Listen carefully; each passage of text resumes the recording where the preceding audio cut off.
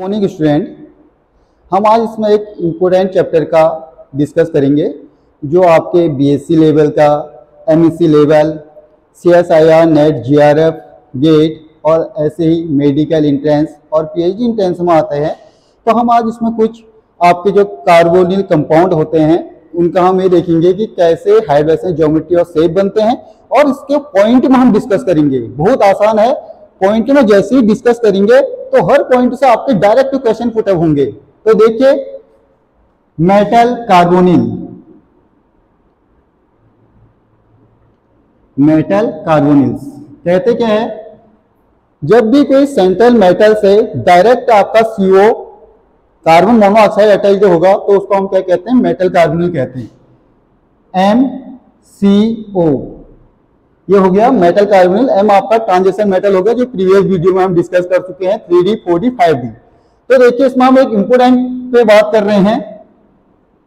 F ई सी ओ का whole five molecule ये आपका कोई मोलिक्यूल है एफ़ ई सी ओ का होल फाइव मेटल कार्बोनिल तो इसका हमें हाइड्रोजन ज्योमेट्री और शेप निकालना है तो पॉइंट टू पॉइंट डिस्कस करते हैं, जिससे डायरेक्ट क्वेश्चन आएँगे, बड़ा इंटरेस्टेड होने वाला है, कैसे आप करोगे? बाकी जितने भी मेटल कार्बोनेट होते हैं, उनका भी आप ऐसे डिस्कस कर सकते हैं, वो हम नेक्स्ट वीडियो में बताते रहेंगे। तो देखिए इंटरेस्टेड नंबर फ़र्स्ट पॉइंट में हम निकालेंगे, कोई भी आपको मेटल कार्बोनिल दे दिया है तो सबसे पहले ये करते हैं कि वो सेंट्रल मेटल एटम का ऑक्सीडेशन स्टेट निकालते हैं। Oxidation state always central metal के निकलता है तो इसमें क्या है? एफ़ प्लस निकालते कैसे हैं?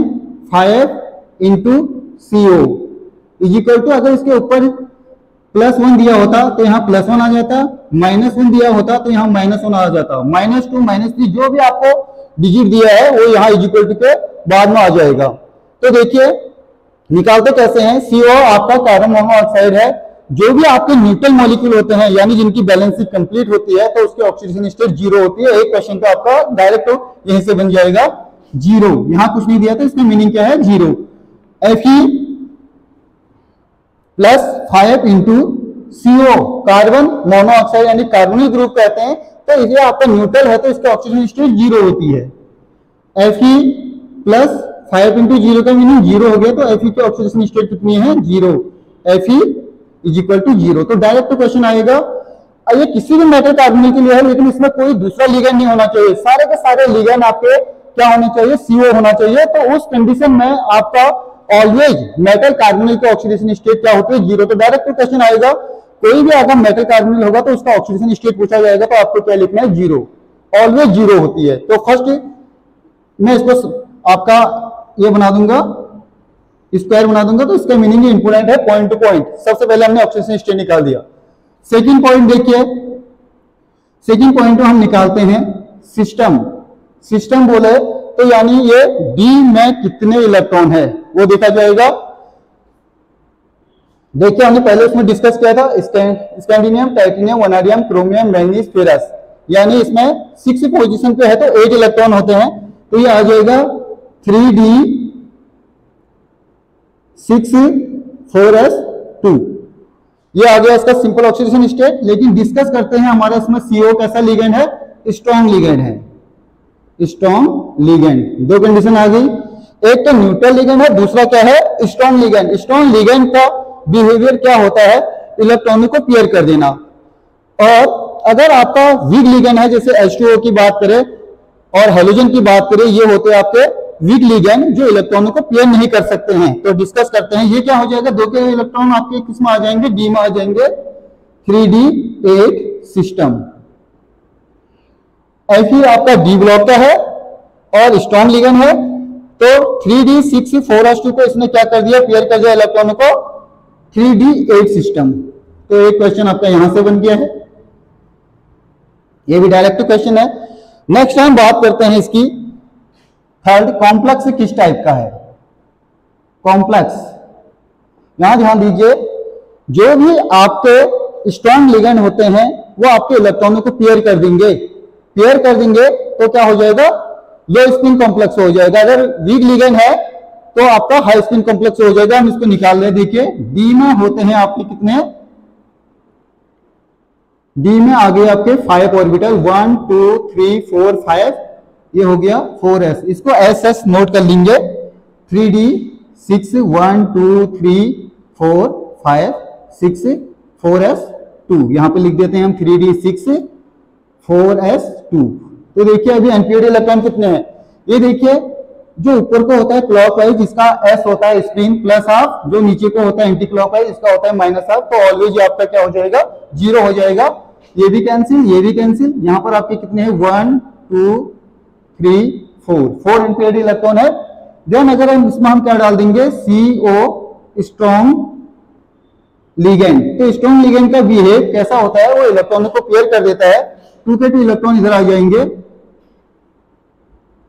One two three four five four S one two three four five six seven eight यहाँ पर देखिए number of unpaired electron N N से डिनोट करते हैं तो one two three four four unpaired है। यहाँ पर एन इज़ इक्वल टू कितनी होगी? ज़ीरो प्लस आप माइनस आप कैंसिल ए भी कैंसिल ए भी कैंसिल ए भी कैंसिल तो ये आपका ऊपर जो था हाई स्पिन कॉम्प्लेक्स था, लेकिन स्ट्रॉन्ग लिगेंड ने इसको क्या बना दिया? लो स्पिन कॉम्प्लेक्स तो कॉम्प्लेक्स कैसा है? लो स्पिन कॉम्प्लेक्स तो कभी भी कंडीशन ये देखना कि स्ट्रॉन्ग लिगेंड होगा तो आपका क्या आ जाएगा? लो स्पिन कॉम्प्लेक्स आ जाएगा डायरेक्ट क्वेश्चन सारे मेटल कार्बोनिल के लिए है। फोर्थ में हम देखते हैं हाइब्रिडाइजेशन ये इंपोर्टेंट पार्ट है हाइब्रिडाइजेशन हाइब्रिडाइजेशन निकालने के लिए आपके तीन पॉइंट होते हैं। Number first point ground state of एफी metal यानी जो भी डिस्कस करते हैं हम वो ऑलवेज किसके लिए होता है? सेंट्रल मेटल के लिए। तो इसमें देखिए वन एफ़ है फाइव सीओ है, जो सबसे लो अमाउंट में होता है एफ़ आपका सेंट्रल मेटल एटम हो गया सीओ आपको लिगेंड हो गया तो इसका कोऑर्डिनेशन नंबर कितना है? फाइव यानी total number of ligand is known as coordination number तो हम सबसे पहले देखते ग्राउंड स्टेट जब उसमें लिगेंड नहीं था, उस कंडीशन में इस पे इलेक्ट्रॉन कैसे बिहेव कर रहे थे? ये वाला। तो ये हो जाता ग्राउंड स्टेज इसका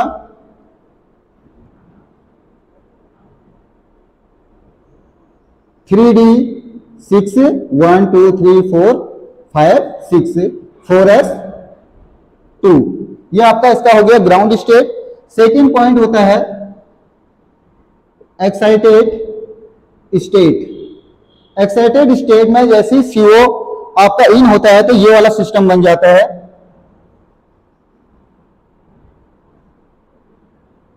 One, two, three, four, five orbital होते हैं। Four S four P. यहाँ भी फोर पी ज़ीरो है। Three D six, four S two, four P zero. Then देखिए क्या हो जाएगा? One two three four five six seven eight ये एट हो गया आपका एक्साइटेड स्टेट एस सच ऐसे लिख देते हैं, जैसे लिगन गया। देन इसके बाद थर्ड में हाइड्रेशन आ जाएगा।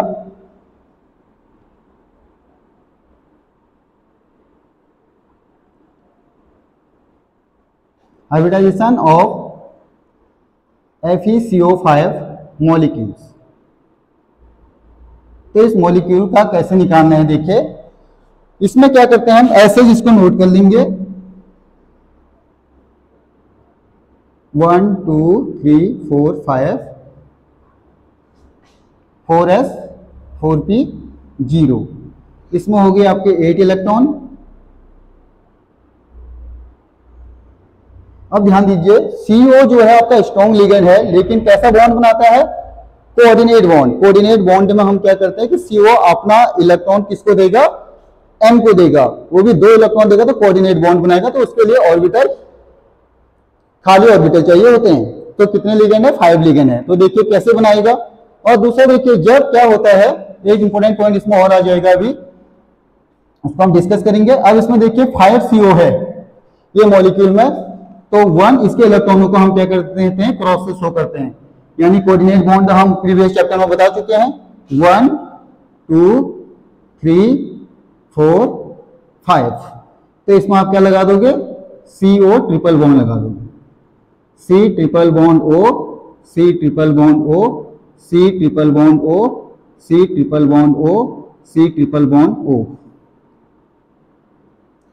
ये आपका आ जाएगा one D one S three P P three D S P three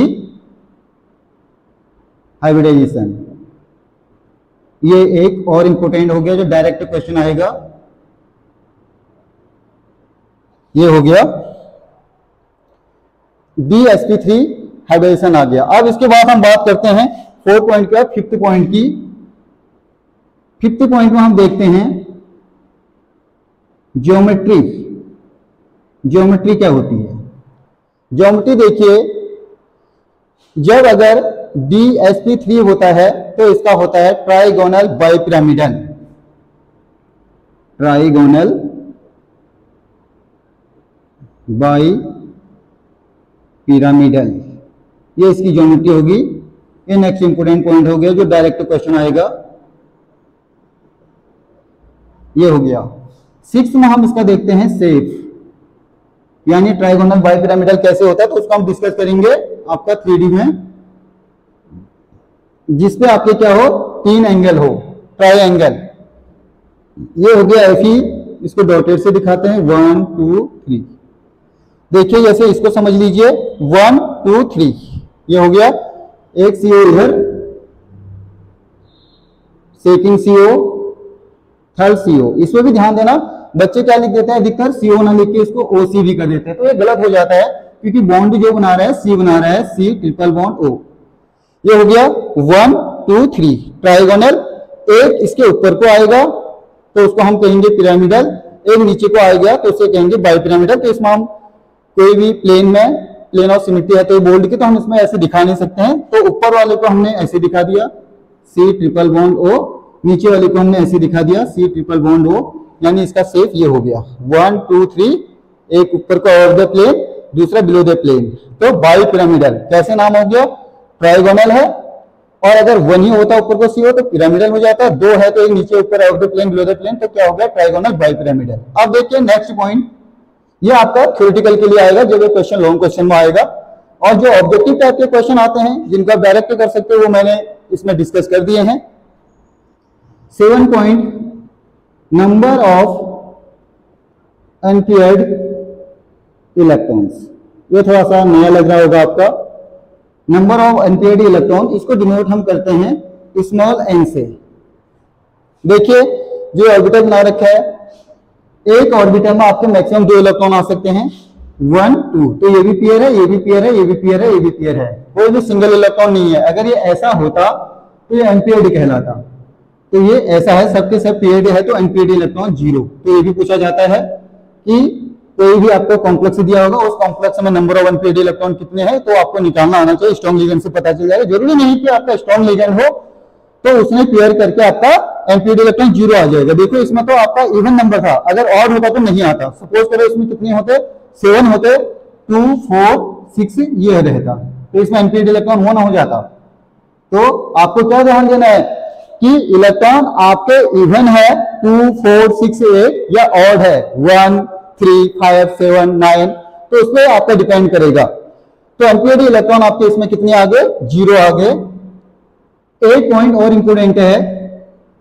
magnetic nature अब ध्यान दीजिए, कोई भी कॉम्प्लेक्स में at least one unpaired electron आ जाता है। ये वाली बात की थी एनपीडी की। तो वो हमेशा आपका कैसा होता है? पैरामैग्नेटिक नेचर का होता है। अगर number of unpaired electron zero हो गए तो आपका डायमैग्नेटिक होता है। यानी इसमें एनपीडी इलेक्ट्रॉन कितने हैं? ज़ीरो है। तो मैग्नेटिक नेचर डायामैग्नेटिक ये भी बहुत इंपॉर्टेंट है। तो हम थोड़ा सा एक चीज़ और करते हैं। ध्यान दीजिए यहाँ पर। नोट करके लिख लेते हैं। ये डायरेक्ट क्वेश्चन है। मेटल कार्बोनिल बॉन्डिंग यानी जो आपकी मेटल कार्बोनिल है क्या क्या बॉन्डिंग होती है? ध्यान दीजिए, जब इलेक्ट्रॉन का ट्रांसफ़र कैसे होता है? लीगेंड टू मेटल यानी ब्रैकेट में देखेंगे M C sorry M L ligand से इलेक्ट्रॉन कहाँ को ट्रांसफ़र हो रहे हैं? मेटल की तरफ़ ट्रांसफ़र हो रहे हैं तो इसमें बनता है आपका sigma bond then second point है इसका metal to ligand metal to ligand electron transfer तो इसमें क्या बनेगा? इसको हम दिखाते हैं एम एल यानी एम से इलेक्ट्रॉन कहाँ चले गए एल में। तो इसमें क्या, इसको क्या कहेंगे? पाई बॉन्ड इसमें बनता है पाई बॉन्ड इसमें बनता है सिग्मा बॉन्ड ये भी ध्यान दीजिए। नेक्स्ट एक क्वेश्चन और आता है। क्योंकि इलेक्ट्रॉन किसने दिए? लीगेंड टू मेटल हुआ। बाद में हो गया मेटल टू लीगेंड। तो इसमें आपको इसको कहते हैं पाई बॉन्ड और इस पाई बॉन्ड को ही कहते हैं बैक बॉन्डिंग। तो इंपोर्टेंट पार्ट है। ये देखिए इससे जो जो क्वेश्चन बनेंगे मैंने आपको इजीली बता दिया है। तो और क्वेश्चन को ऐसे कर, कर सकते हो कोई मेटल कार्बन बना के। नेक्स्ट में हम इसमें और डिस्कस करेंगे। तो तब तक आप इसकी स्क्रीनशॉट ले लीजिए। Thank you so much